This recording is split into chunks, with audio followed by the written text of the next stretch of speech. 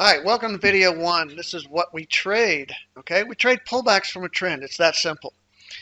We we look for strength in downtrends and weakness in uptrends. Currently, we're trading these futures instruments.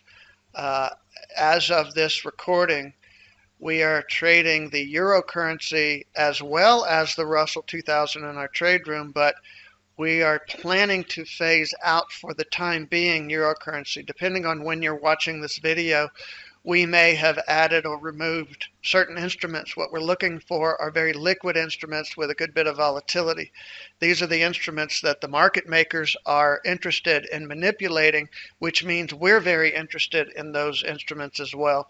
So there may be a time where we, will switch those out, but currently these are the instruments that we trade in our trade room. We have very small targets and very small stops. Uh, we have a lower risk uh, and lower stress. And we do have lower risk and lower stress because of the limited exposure time, the limited amount of time that we allow our money to be exposed to the market fluctuations and the aforementioned market makers. We don't want to be involved in some of the manipulations that are going on, so we want to get in and out as quickly as possible. All right, as I mentioned, we trade pullbacks from a trend, but let's look and see what, what that really means.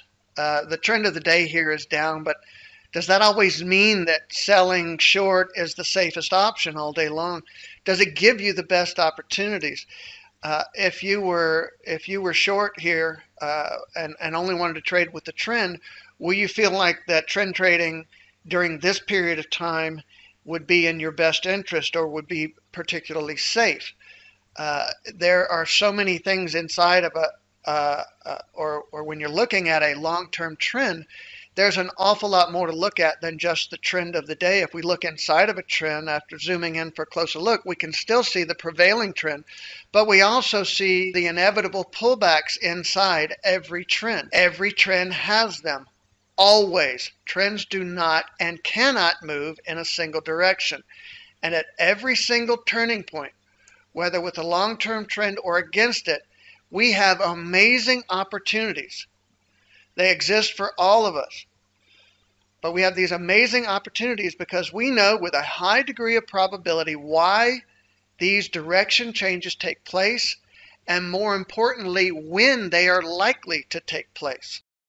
All right, this concludes video one in our video series. Please feel free to proceed to video two in the series to get started learning about trading trade setups.